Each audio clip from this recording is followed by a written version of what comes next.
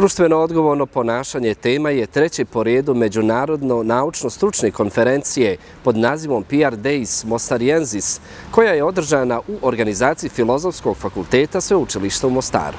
Na Filozofskom fakultetu Sveučilišta u Mostaru i hotelu Mostar 22. i 23. studenoga održana je treća po redu Međunarodna znanstveno-stručna konferencija s područja odnose s javnošću PR Days Mostarienzis, koja je okupila 86 predavača iz šest zemalja koji su izložili 53 teme.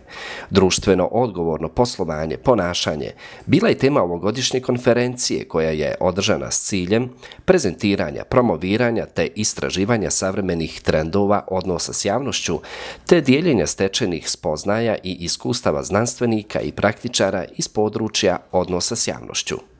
Predsjednik organizacijonog odbora konferencije profesor dr. Nino Ćorić, te rektor sveučilišta u Mostaru profesor dr. Zoran Tomić i predsjednik vlade Hercegovačko-Neretvanske županije dr. Nevenko Herceg otvorili su ovogodišnju konferenciju. Rektor Tomić izjavio je kako je konferencija imala za cilj unapređenje znanja. Kao temelj konferencije naveo je studente studija odnosa s javnošću Filozofskog fakulteta sveučilišta u Mostaru. Ja mogu reći da sam bio inicijator osnivanja PR Days-a i vrlo, e, vrlo jasne razloge sam imao za to. Prvo, e, sveučilište u Mostaru je jedno od rijetki u jugoistočnoj Evropi koje ima čisti studij odnosa s javnošću. Petogodišnji e, uh, školuje stručnjake odnosa s javnošću, menadžere na dvije razine, prediplomsko i diplomsko, a kroz naš doktorski studij jezici kulture kontaktu mogu doktorirati na grani odnosa s javnošću. Konferencija je bila podijeljena u četiri programske celine, odnosno sekcije. Prvi dan održane su sekcije političko-institucionalni DOP i DOP u medijima, te sekcije studentske u kojima su sudjelovali studenti iz Osijeka, Beograda, Zagreba, Dubrovnika i Mostara, a najbolje izlaganje studenta je bilo nagrađeno.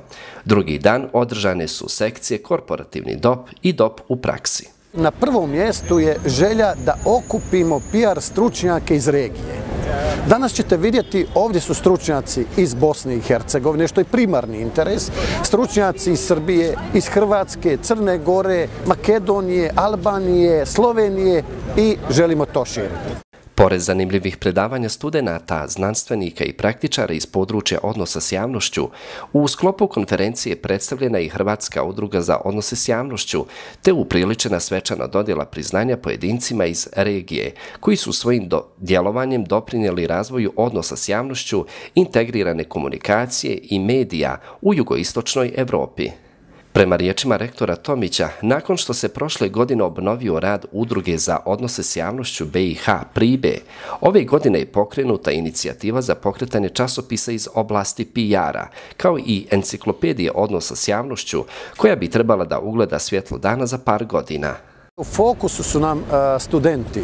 Studenti na PR Days, već treću generaciju, mogu čuti jedan broj predavanja koji neće čuti u, u, u školskim klupama. Čuti će različite pristupe različitim temama, što im omogućuju da dobiju jednu kritičnost prema pojavama koje nisu još uvijek zaokružene, nisu etablirane, koje su još uvijek radne kad je u pitanju komunikacijski procesi unutar profesije odnosa s javnošću. Profesor dr. Nino Ćorić je kazao kako su ciljevi konferencije prezentirati, promovirati te istražiti suvremene trendove odnosa s javnošću, podijeliti stečene spoznaje i iskustva znanstvenika i praktičara iz područja odnosa s javnošću, otvoriti dijalog i raspravu s naglaskom na istraživanja i buduće trendove u profesiji i srodnim disciplinama. Društvena odgovornost je naprosto dakle, tema koju smo odabrali u zaključcima prošlogodišnje konferencije. Jel, taj organizacijski odbor, odnosno znanstveni odbor i programski odbor konferencije je to definirao. I evo, dakle, na naš poziv o društvenoj odgovornosti se javilo 88 autora iz šest država regije, koji će u ova dva dana dakle, izlagati svoje 53, 53 radi. Profesorica na Fakultetu organizacionih nauka Univerziteta u Beogradu, profesor dr. Milica Kostić-Stanković, kazala je nešto više o neophodnosti društvene odgovornosti. Društvena odgovornost je neophodna društvu. E, ja bih rekla neophodna e, u smislu društvene odgovornosti u e, čitavom sistemu, zbog toga što se mi u PR-u trudimo da negde saopštimo da postoji društvena odgovornost.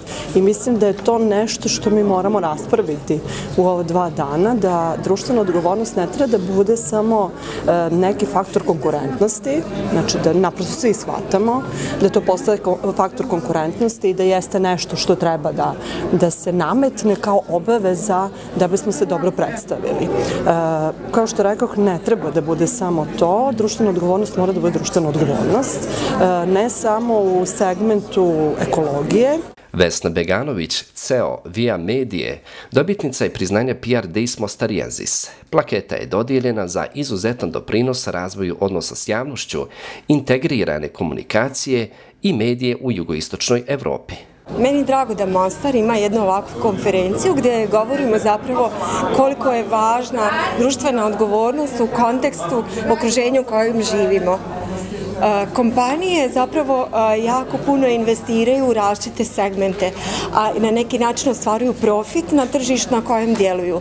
Isto tako, za uzvrat trebali bi nešto dati tom društvu, jer njihov uspjeh zavisi od svih nas pojedinaca.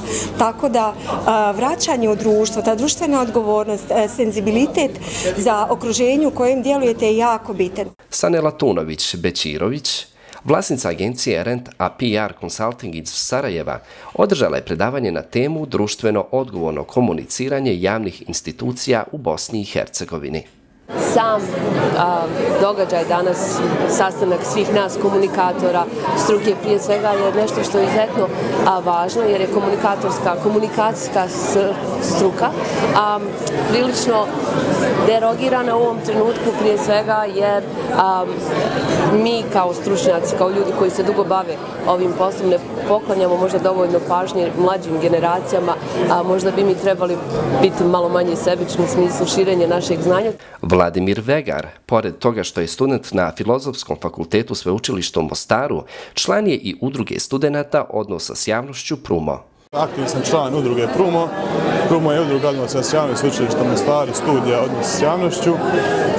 Cilj same konferencije je promaknuti ovo novo, tako reći, novo, novo znanje, novo iskustvo, jer ovo je jako mlada struka u Bosni i Hercegovini. Samim time u Bosni i Hercegovini imate jedan jedini studij odnosa s javnošću, to je ovaj Mostar koji je star 5 godina. Neki od najznačajnijih predavača na ovogodišnjoj konferenciji bili su dr. Iko Skoko, dr. Davorka Topić-Stipić, dr. Sanja Bijakšić, dr. Katarina Bandur, magistar Zdeslav Milas, dr. Damir Jugo, dr. Gordana Lesinger, dr. Mirko Radalj i mnogi drugi. Organizatori konferencije su studiji odnosa s javnošću Filozofskog fakulteta sveučilišta u Mostaru i udruga studenta odnosa s javnošću Prumo.